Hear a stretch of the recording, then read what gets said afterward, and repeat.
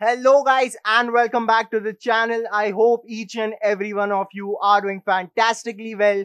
Yesterday we had a match versus Sevilla, our first Champions League game of the season and we drew nil-nil. There were a lot of negatives as well but there were some positives as well. We will be discussing today three things that Lampard needs to change or fix up as soon as possible to keep his Chelsea job and to make sure that Chelsea win more from now onwards. So let's begin with the video. First off, let's talk about Mason Mount, a very good guy, our own academy graduate, a guy that Lampard absolutely loves and a guy that we love too. He was so, so good for us last season, but he was playing through the middle. The main problem I have with Mason Mount and Lampard is that he forces him to play on the wings, left wing or right wing. It does not matter. He's not good there. He wants to play through the middle.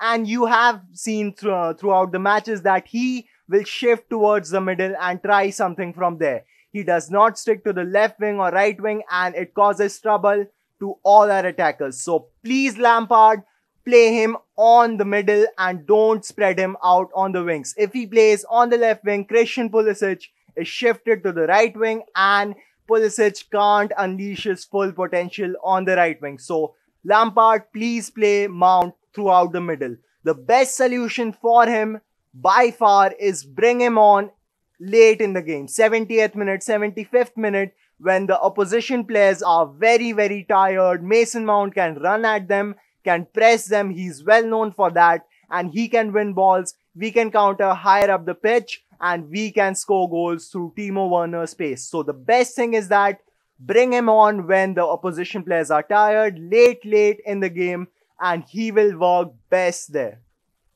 The second thing I would love to see from Frank Lampard is if he stays with the same system and with the same formation. I know there has been a lot of change from last year. We have signed a lot of new players, but I need to see a proper system. Remember, all top teams have different systems and they actually show that on the pitch. Liverpool love to play with their wing backs, Trent Alexander-Arnold and Robertson.